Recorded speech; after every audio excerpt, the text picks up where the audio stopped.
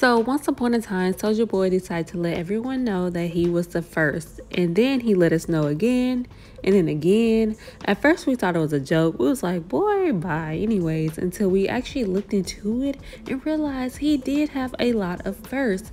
And not only that, he also made us realize that he actually was a pioneer of a lot of things within the new generation.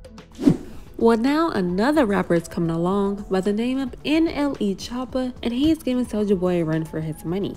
And it all started when he tweeted out, first artist to walk a NBA team out, and it was the home team. So this eventually got back to Soulja Boy, and he decided to let NLE Choppa know, I been did that three years ago.